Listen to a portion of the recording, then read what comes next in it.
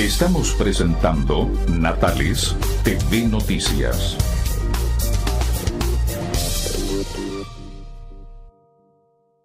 Seguimos avanzando con más informaciones. Le contamos que la gobernación provincial de Última Esperanza ya está con parte de su equipo completo.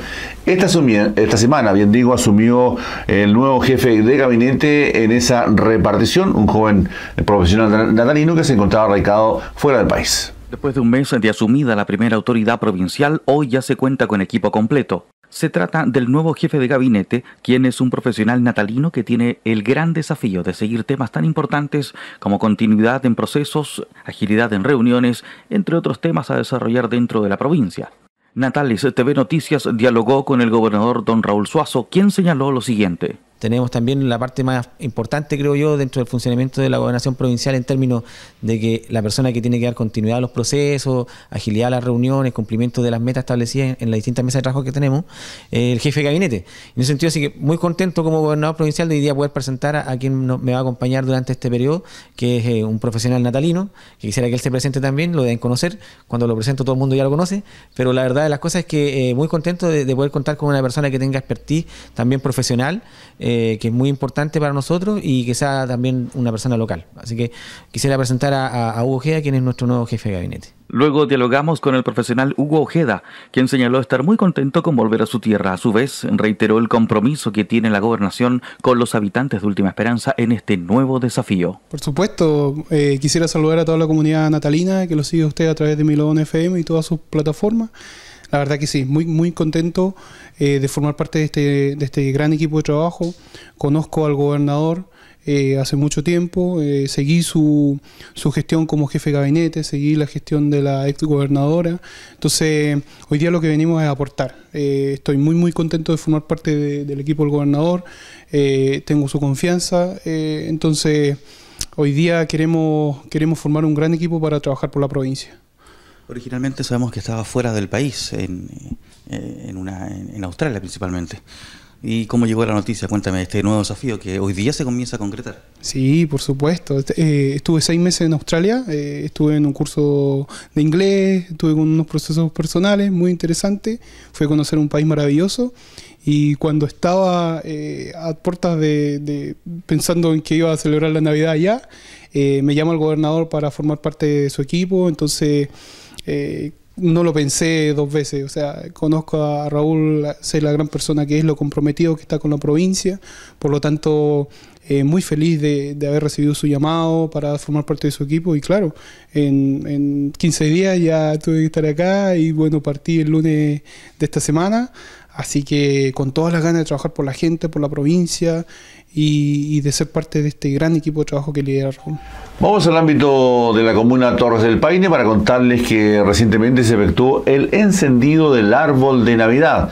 Esto en la capital de Torres del Paine, que es eh, Cerro Castillo. Con toda esta actividad con el apoyo de la empresa privada.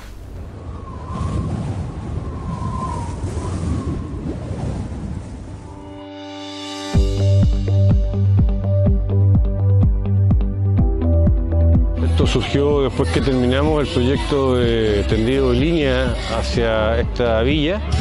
Eh, tomamos el compromiso con el alcalde de poder también tener un árbol de Navidad en esta, en esta localidad.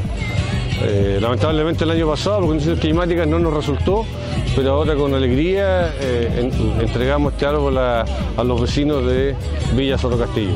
la verdad que esa obra fue importante para nosotros y eh, la instalación de este árbol y su encendido, la verdad que lo tomamos como el fin de esos trabajos, eh, dándole así un sentido a la comunidad del esfuerzo que significó llegar hasta acá con eh, energía eléctrica.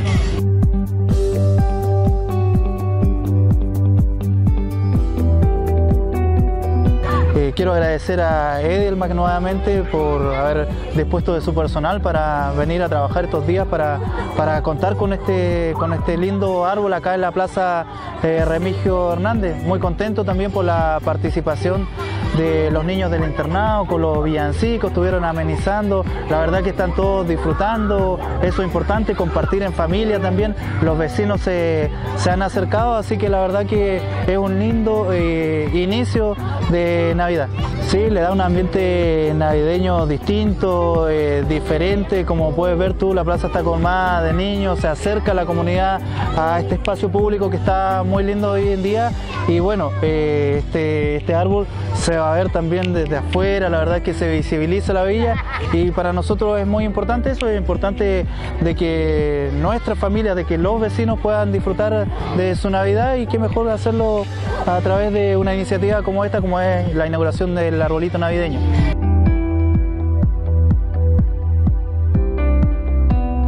Una muy buena iniciativa del municipio de Edelmac, donde da la oportunidad para compartir en familia eh, los habitantes de la comuna, juntarse en un ambiente navideño y disfrutar de este hermoso árbol que nos trajeron, un ambiente familiar donde los niños disfrutan de este momento y a esperar que todos pasen unas hermosas fiestas.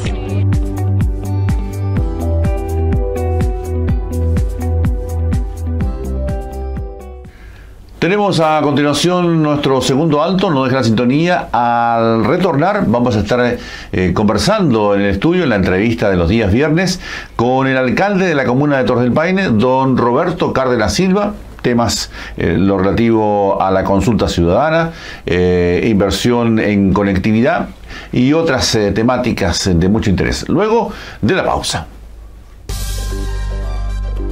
Estamos presentando Natales TV Noticias.